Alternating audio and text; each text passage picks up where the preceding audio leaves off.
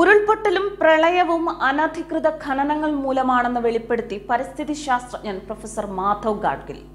കേരളം പശ്ചിമഘട്ടത്തിനും കടൽക്കായലിനും ഇടയിലുള്ള അതിസങ്കീർണമായ ഭൂപ്രദേശമാണ്. കാലാവസ്ഥ വ്യതിയാനവും മഴ കൂടുന്നതും മൂലം ഇനിയുള്ള കാലം അതീവ മുൻകരുതൽ ആവശ്യമുള്ള കാലഘട്ടം. സംസ്ഥാന സർക്കാരിന്റെ സിൽവർ ലൈൻ വേഗ റെയിൽ പദ്ധതി കേരളത്തിലെ വലിയ പരിസ്ഥിതി ദുരന്തമായി മാറുമെന്ന് ഗാഡ്ഗിൽ പറഞ്ഞു.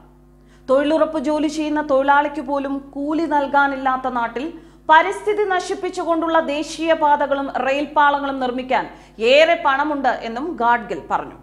ഇപ്പോൾ അനധികൃത ഖനനവുമായി ബന്ധപ്പെട്ട് എം കെ സലിം കർമാനോസിനോട് നിയമം അനുസരിക്കുന്നില്ല നിങ്ങൾ നിയമം ബാധകമാക്കുന്നില്ല എൻഫോഴ്സ് ചെയ്യുന്നില്ലെന്നല്ലേ പറഞ്ഞത്? പറഞ്ഞിട്ട് എത്ര വർഷമായി? രണ്ടായിരത്തി പത്തൊമ്പതിൽ മരട് ഫ്ലാറ്റ് പൊളിക്കുന്ന സമയത്ത് പറഞ്ഞതല്ലേ? എന്തുകൊണ്ടാണ് ഇത് പറഞ്ഞത്? ഗാഡ്ഗിലും എന്തോ പറഞ്ഞത്?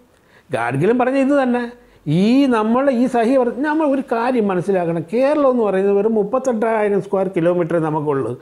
തൊട്ടടുത്ത ആന്ധ്ര കർണാടക തമിഴ്നാട് എല്ലാം രണ്ട് ലക്ഷം ഒരു ലക്ഷത്തി തൊണ്ണൂറ്റെട്ടായിരം സ്ക്വയർ കിലോമീറ്റേഴ്സ് ഉണ്ട് അവർക്ക്. ലാൻഡ് ബാരൻ ലാൻഡ് അതൊന്നും സി ആർ എസിന്റെ അല്ല. പുഴകളും നദി പത്ത് നാൽപ്പത്തേഴ് പുഴകൾ ഒഴുകുന്ന ഒരു നാട് കേരളം.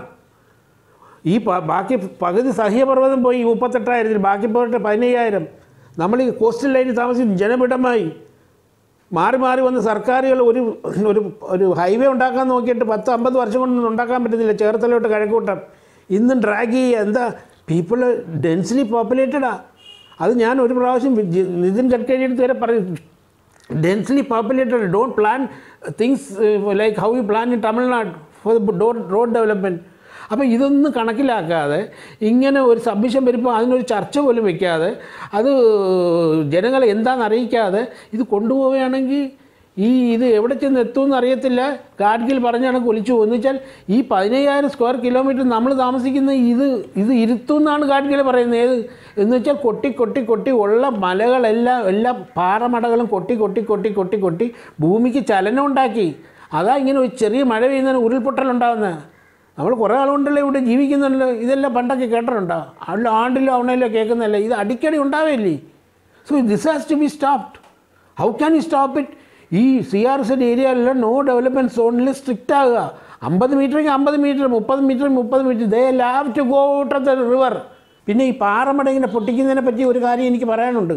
ഈ ഇരുന്നൂറ് മീറ്ററിന് ദൂരമുള്ള പാറമടകൾക്ക് അനുവാദം കൊടുക്കാനുള്ള ജനവാസം. അത് പിന്നെ ഈ കേരള സർക്കാർ അമ്പത് ആക്കി അത് പിന്നെ സുപ്രീം കോടതി ചെന്നാൽ പറ്റത്തില്ല. ഇരുന്നൂറ് മീറ്റർ തന്നെ വേണമെന്ന് പറയും. പിന്നെ ഇവർ കൊണ്ടുപോയി. എത്ര ലക്ഷം രൂപ ചിലവാക്കുന്നു? അമ്പത് മീറ്റർ ആക്കാൻ. ഇപ്പം എന്താ ഇന്നലെയും സുപ്രീം കോടതി ഓർഡർ ചെയ്തു എൻ ജി ടി പോകാൻ എൻ ജി ടി പോയി പറയാൻ. National green tribunal. അതുകൊണ്ട് ഇത് ബാക്കിയുള്ള കാര്യത്തിനേക്കാൾ നേച്ചറിനാണ് ഇനി വില കൊടുക്കേണ്ടത്. എന്ന് വെച്ചാൽ രോഗവ്യാപകമായ നേച്ചർ തകിടം മറിഞ്ഞിരിക്കുകയാണ്. എല്ലാവരും ബോധവാന്മാരാകണം. എൽ ബോധവാന്മാരായില്ലെങ്കിൽ ആവുന്ന സർക്കാരാണ് ഇത് ചെയ്യേണ്ടത്. വേറെ ഞങ്ങളൊന്നും അല്ലല്ലോ. You should not give permission if there is no development zone എത്രയാണ് ടൂ തൗസൻഡ് ലെവനിൽ പോയി അളന്ന് നോക്കുന്നതിന് എന്താ പ്രശ്നം?